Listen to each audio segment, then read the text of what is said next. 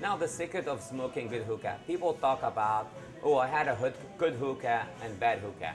Why is that? Tobacco. Everybody have probably the same tobacco. Hookah. Everybody have the same hookah. What makes my hookah better than others?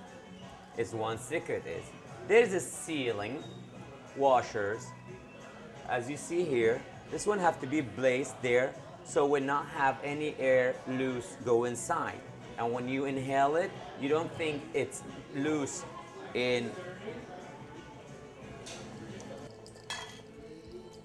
and it goes down it's ready to go and you look here also the same uh, washer or you can call it gasket for the pipe, the hose. You can place it here. This one has to be tight so when you inhale, you don't lose the air. Also the same thing, I'm going to show you here on different one. This part here, as the, uh, the gasket.